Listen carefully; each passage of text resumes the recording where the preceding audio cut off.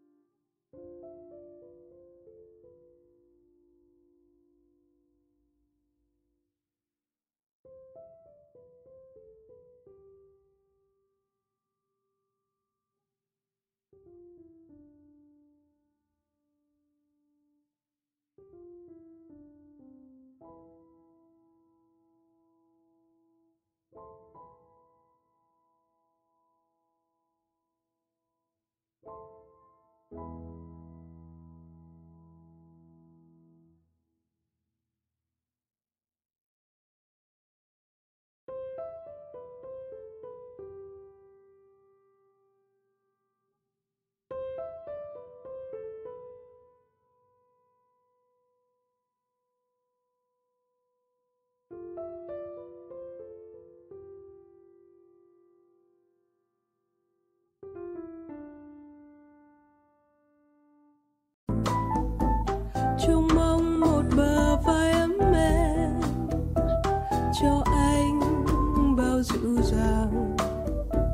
cho nụ cười anh luôn thật xa